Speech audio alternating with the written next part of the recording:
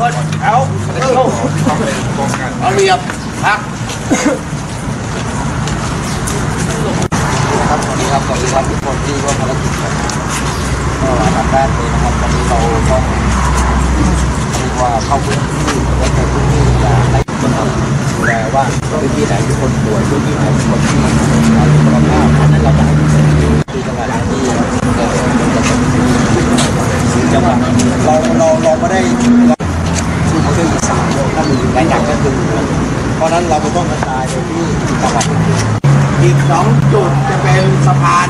สะพานร้อยปีอารับีเป็นสิ่งที่ละเอียดอ่อน คือถ้าประชาชนบอกว่า ให้คนที่กำลังเราตอนนี้สถานก็คือว่าการช่วยเหลือเอ่อชีวิตของเราคนที่พยายามเข้าพึ่งเรานะครับก็เดี๋ยว ก็ให้ให้มาตรการเพราะงั้นเดี๋ยวเดี๋ยวต้องไปสำรวจกันมาสักสามสี่วันนะเมื่อได้ข้อมูลเสร็จแล้วเราจะเข้าไปทันทีอ่าไม่ใช่ว่าเราจะไม่เข้านะครับ เข้าไปทุกพื้นที่เลยหาหน่อยแต่ช้านิดเดียวไม่เป็นไรแต่รับรองว่าเงินถึงทุกครอบครัวนะครับไม่ต้องกลัวไม่มีอ่าถ้าแม้แต่ครอบครัวเดียวที่ตกสำรวจมาแจ้งพวกเราได้เลยทีมที่แปดทำยาในพื้นที่เอาอันนี้ครับยกมือ วันภารกิจเราเป็นการช่วยเหลือประชาชนแบบลงที่โดยใช้อุปกรณ์ป้องกันช่วยเหลือในการเผยจำนวนเอ่อผลกระทบต่อการเผยจำนวนเอ่อมันเกิดขึ้นได้ เพราะว่าถ้าเกิดมีการมั่วสี แต่ณตอนนี้มีสีเดียวยอดอยู่ที่ 500ยอดอยู่ที่ 500 ตอนนี้นะครับรันตามนัมเบอร์ ไม่ใช่ว่านัมเบอร์ไหนวัตถุดิบ ก้อนเดียวแต่มันไม่สามารถไปพบเงินแผลเงินหมุนได้นะครับตัวนี้เราจะลงพื้นที่แจกบัตรอีกนิ้วก็เหมือนเดิมครับเมื่อวานนะครับ ก็เราจะให้ทางเจ้าหน้าที่ไปสำรวจนะครับว่าตำบลไหนหมู่บ้านไหนนะครับ ที่เขาเรียกว่ายังต้องการความช่วยเหลือนะครับเรื่อง ข้าวสารอาหารแห้งนะครับ แต่ตอนนี้ผมว่ามุ่งมุ่งมุ่งมาทางให้เงินนะฮะเป็นเงินสดนะครับ 5,000 บาทต่อครอบครัว เพราะว่าเราก็เราตอนที่เราเข้ามา2อสาวันแรกก่อนตอนน้ำท่วมนะครับ เราก็สำรวจมาหมดแล้วว่าเราเอาข้าวสารอาหารแห้งเนี่ยไปให้เขาเนี่ยเรารู้เลยว่าจุดไหนเป็นจุดไหนบ้างแต่เพียงเนี้ยเราจะไปไปกันกรองไปดูไปตรวจเช็คให้แน่นอนว่ามีคนนายกในขอในคอนอยู่หมู่บ้านนี้จริงนะครับและมีบัตรประชาชนมีสำเนาเบียนบ้านจริง แล้วก็จะให้ทางเจ้าหน้าที่นำบัตรของนูที่โลกตันยูนะครับไปแจกจ่าย แล้วเราก็ให้คนที่มีบัตรร่วมกตันยูแล้วก็มีบัตรประชาชนมีสำเนาทะเบียนมารับเงินณวันนี้เราจะเข้าไปเอ่อประมาณ 3-4 จุดนะครับ ก็ประมาณ 1,000 กว่าครอบครัวนะครับ ก็ถือว่าก็คงมีวันนี้ทั้งวันนะครับ ลักษณะการแจกนี่คือเราแจกเป็นรายบุคคลหรือว่าแจกเป็นรายครอบครัว เป็นครอบครัวครับ ครอบครัวสมมติหมู่บ้านนี้ มี 300 ครอบครัว เราก็แจกเป็นครอบครัว ถ้าเราแจกเอ่อรายคนเนี่ย ผมว่าโอ้โหมันมันไม่ได้ครับบางทีครอบครัวมี7-8คนนี่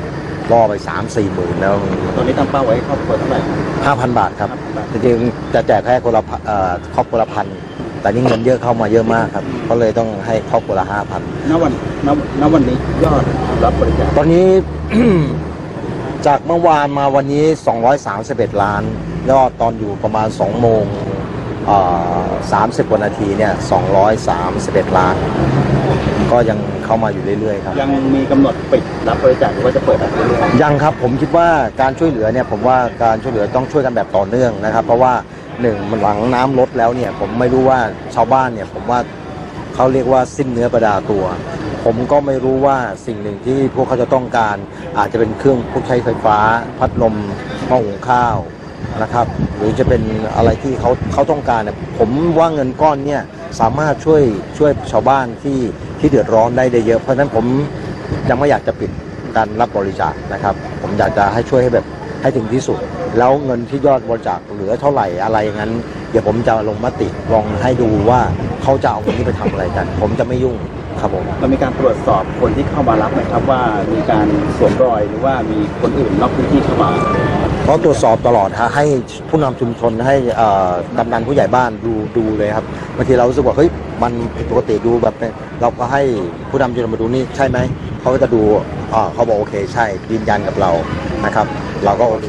จะจ่ายแต่ถ้าไม่ใช่กับไม่ได้ เรามีการคัดเลือกชุมชนยังไงบ้างเพราะใครๆเขาอยากได้เงินก่อนเนี่ย คัดเลือกแล้วว่า